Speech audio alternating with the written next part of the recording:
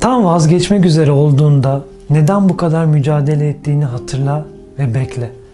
Zorluklar sıradan insanlara sıra dışı güçler verir ve seni yoran tırmanacağın tepe değil ayakkabındaki çakıl taşıdır. Sen sabret, asla vazgeçme. Bazen yaşam sallanmalı, sarsılmalı, değişmeli ki taşlar yerini bulsun. Bekle. Vücudun her zorluğu atlatır. Yeter ki beynini ikna etmeyi bil. Karanlığın sonu aydınlıktır. Her sabah doğan güneşi düşün ve bekle.